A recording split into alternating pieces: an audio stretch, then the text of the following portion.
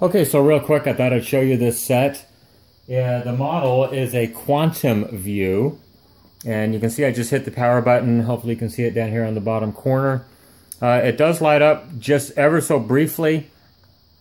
And then the backlight goes out. The power light does stay blue down here. I can go ahead and shut the set back off. I'm going to go ahead and turn it on one more time. And I want you to look in this area right here. And you'll notice that it's a little bit dark right in here, pretty much going straight across. So I thought I'd mention uh, troubleshooting the backlight uh, failure, which is what I believe this is. So I've got my meter here set up and I'm on the uh, inverter board with these transformers and I wanted to show you real quickly how to measure them. This, of course, is specific to this exact model. Um, with your uh, ohm meter, I have it in the K ohm position, 1000 ohms, and it's on the 6 scale, so 6000 ohms maximum. If I short the leads together, I should see uh, pretty close to zero ohms, and I do. Let me turn the light on. It will go off in just a moment, but these two leads on the transformer uh, are coupled together, so you should read zero ohms across those. So one side of the transformer to this pin is the secondary, and that's what we're interested in actually. That one reads 1.06. Uh, let's measure this one down here. If I can get on here good. There's a couple little pads here I'll use for measurement purposes. 1.089. Let me cycle the light. And then this one, 1.471. This one's off the screen, unfortunately. So let me try to zoom out just a little bit here. This one reads 1.47. And so I suspect this transformer is being my problem. So let's go ahead and pull the transformer off the board uh, and we'll compare it with another one at the same time. So I'm just going to go ahead and unplug the connector. This connects the power supply 24 volts as well as the dimming control and the backlight on off command. So I'm going to go ahead and just unplug that connector. Uh, I've got the cover off already, and, and the screws in the cover actually hold the circuit board in. It's a really easy matter of just unplugging the whole board. It comes right out of the circuit. So let's go ahead and test that transformer out of circuit. Okay, so I've got the transformer. I just put a little uh, mark on it so I'd know which one is the good one and which one's not. Uh, so hopefully this will stay in the video frame. All I'm going to do is add some solder uh, to all these pins to get them all molten simultaneously. I realize there's going to be a little bit of a bridge, but once I get the end of it lifted up, I'm not really going to care too much about it because once I get it free, it, it won't actually matter. Do the same thing to the other side here. And the board is just sitting here. I don't have it secured down at all. Okay, so there I've got my transformer completely off of the board. Let's go ahead and do a test. I'm also going to remove a second transformer for comparison purposes. Okay, just real quick, while I have them out of the board, I thought I would just go ahead and do an ohm meter measurement. 1.108, and it is actually just between these two pins. They must be bridged on the circuit board. 1.1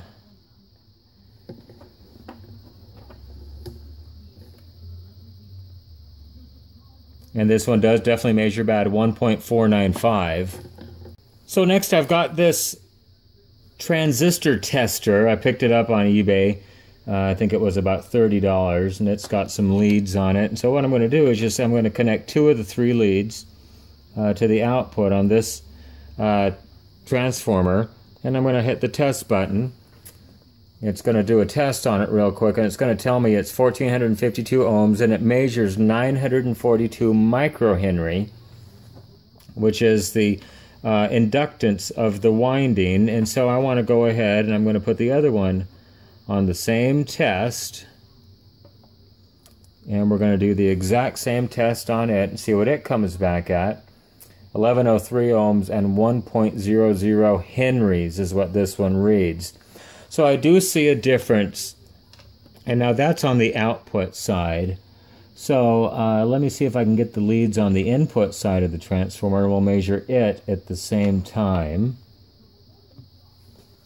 So once again, this is the good transformer. 0.4 ohms and 0.13 microhenry on the inputs. And we'll do the same exact test on this other transformer.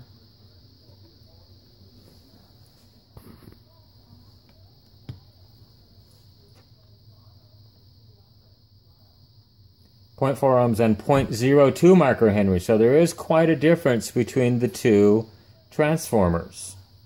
Okay, next I've got a uh, Sencore capacitor inductor tester up here. It's going to be kind of hard to see. It's up on a shelf, and unfortunately I don't have my normal tripod with me tonight. And so I'm going to just do some uh, tests on it real quick to zero out the leads. Uh, these are the leads hanging down here. I hope you can see them in the picture. They're just a couple alligator clips. So I'm going to short those. And next I'm going to take that transformer and I'm going to measure the output side. I'm just going to hook up the two leads and I'm just going to go uh, to coils and I'm going to check inductor value 1.02 henries approximately, and I'm going to do a ringing test on it. It rings 24 rings. So just as comparison, I'm going to go take the other transformer. This is the bad one now. That one was the good one. So just as a comparison, if I can get the leads to stay on it, I'll do the inductor test. Actually, this one comes back as open. I must not have the leads on there very good. Okay, let's try it one more time. Uh, 952 uh, millihenries. And this one rings three rings.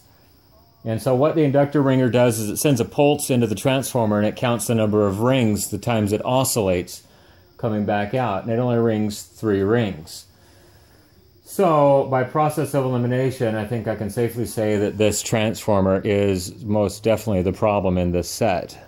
So, I just wanted to say real quick between the uh, capacitor, uh, inductor tester, and this little transistor tester, which incidentally will test uh, transistors, FETs, uh, IGBTs.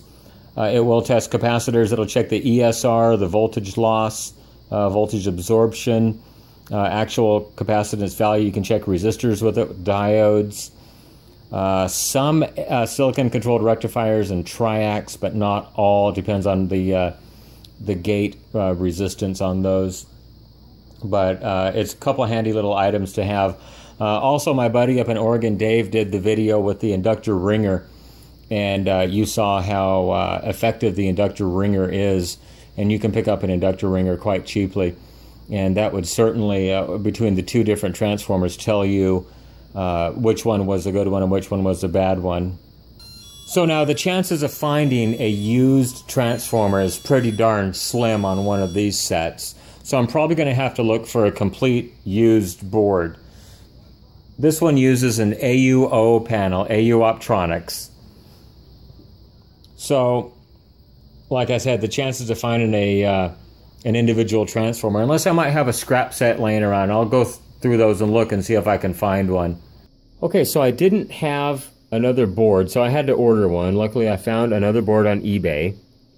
And so we've got the transformer, the one that we tested that we definitely had a uh, different resistance reading as well as a different inductance and ringing reading. And then we've got the other transformer, which is in these two slots right here that I took off the board that was the comparison transformer. So what I'm going to do, I could just put this whole new board in and be done with it, but I'm going to actually take the good transformer and put it back on the board as well as taking one of the other transformers and putting it back on our original board just so I can be sure that that's what the actual problem was and that there may not be anything else wrong with the board. I just want to test my my troubleshooting logic here. Okay, so I went ahead and I pulled just one random transformer off of the replacement board I got. And uh, you can see it over here on the way edge of the screen. We've got the bad one in the middle, and then the original one and the new one that I pulled off the other board. So I'll go ahead and put the two good ones back on these two positions. But let's test them first, at least resistance-wise. Okay, and I'll try and do this without getting too much in the way here. So Just for reference, here is the defective one. I can keep my probes on there. We'll see about 1.53K. And now this is the original one that came off the board. 1.084K. And then this is the new replacement, 1.085K. So we're not looking at hardly any difference. In fact, it went down to 1.084. So uh, both of these seem to be matched almost identically. So let's go ahead and put them on the board and see what happens. Okay, so when you go to put these on the board, just keep in mind that there are a couple of little uh, keys, the little pins right here that have to fit in the little holes. And uh, from what I've seen, the uh, different transformers have different configurations of where those pins will be found.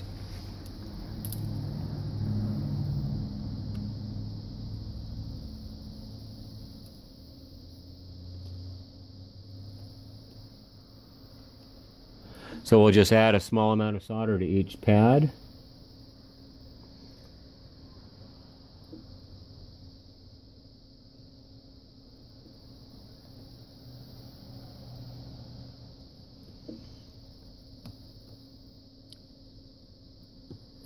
Oops, looks like it's gone completely off the picture now.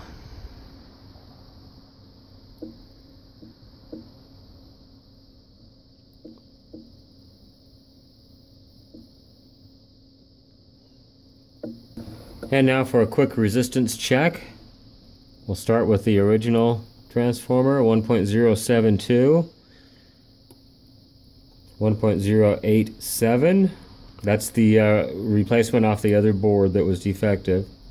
And 1.101. So we're all within uh, very close tolerance here. So let's go ahead and put it back in the set and see what we get. Okay, I've got the board in the set. Let's go ahead and turn the power on.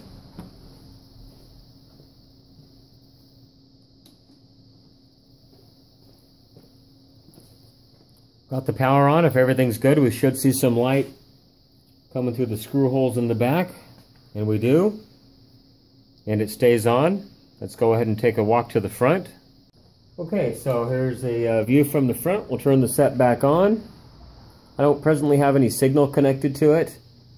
So all we're going to get is the main uh, logo screen and, and a no signal condition. But from all outward appearances, everything's working good. So I think we have another successful repair on this one.